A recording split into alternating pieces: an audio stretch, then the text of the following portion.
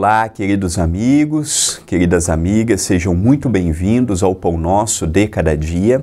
Comigo, André Luiz Querine Vilar. Que alegria e que honra a TV A Caminho da Luz e o Centro Espírita Perdão, Amor e Caridade, o CEPAC, estão me oferecendo diariamente, juntos, reunidos, no objetivo de analisarmos uma frase, cada um tirando as suas conclusões, cada um analisando fazendo as suas próprias ponderações.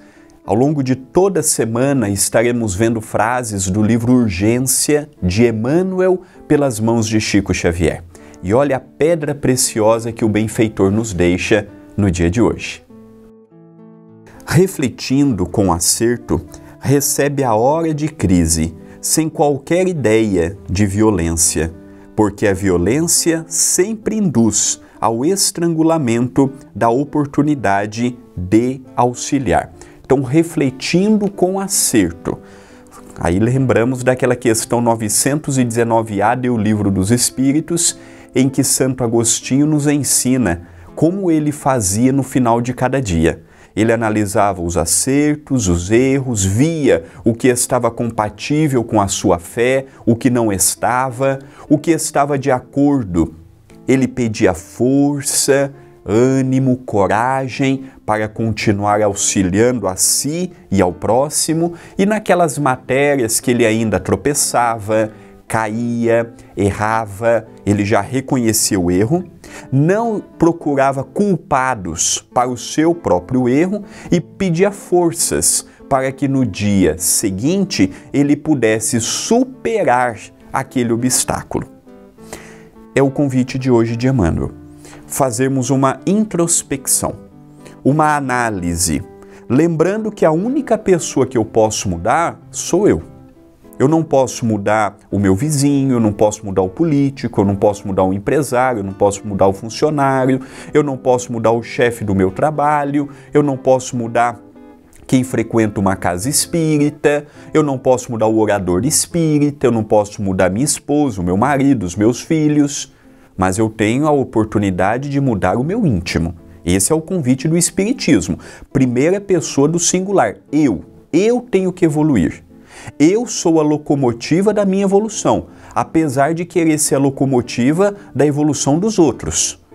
Eu quero ser a locomotiva do mundo. Ah, o mundo está errado, o Brasil está errado, minha cidade está errado. E esqueço que a única pessoa que eu tenho o direito de governar sou eu mesmo. E pela ausência deste governo perante o que o Evangelho me instrui, tem me levado muitas vezes ao que temos visto, cuidando de todos e esquecemos de cuidar de nós. Quando ele fala violência, a violência ela está no olhar, ela está no ouvido, ela está no pensamento, ela está nas atitudes. Tem pessoas que não falam, mas vão pensando, vão maquinando. Por isso que hoje, há muito tempo eu sou calado, no centro espírita, no trabalho, em casa, porque hoje nós vivemos tão polarizados. Hoje nós não debatemos mais ideias. Ah, você é a favor, beleza, você é contra, beleza. Hoje se forma inimigos. Eu não estou nessa existência para arranjar inimigos. A minha opinião ela é imperfeita, ilimitada, não vai mudar a vida de ninguém. Para que, que toda hora eu vou ficar expressando o que eu penso? Não tem necessidade. Só vou arranjar inimizades no trabalho, no centro espírita, em casa. Há muito tempo eu já tenho aprendido com o Dr. Adroaldo a ficar quieto, no meu canto, Estou na sopa, estou na batata, estou no trabalho, ou eu estou ouvindo uma palestra quando eu estou trabalhando, ou estou ouvindo uma entrevista, ou ouvindo uma música clássica. O dia todo. Meu dia todo é ouvindo essas coisas. Por quê? Porque não adianta. O mundo que nós vivemos é um mundo de violência. Ah, não concorda comigo, não gosta de mim. Ah, tem uma opinião contrária à minha. Ah, então não quer o meu bem. Não é assim que funciona. Então, até para darmos uma opinião hoje, nós temos que tomar cuidado, tão polarizado que nós estamos, ainda mais quando o assunto é política, por exemplo. Eu vejo com tanta tristeza dentro do próprio Espiritismo postagens no Instagram, postagens no Facebook, um grupo espírita detonando o outro, porque um pensa com um candidato tal, o outro pensa com outro candidato. A gente está na mesma religião.